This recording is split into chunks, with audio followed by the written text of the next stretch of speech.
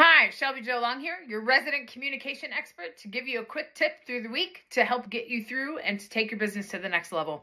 One thing that has come evident to me in the past week is the phrase that I hear from my CEO pretty frequently called your network is your net worth. As business owners, it's so important to understand that our business is not just here in the silo that we've built.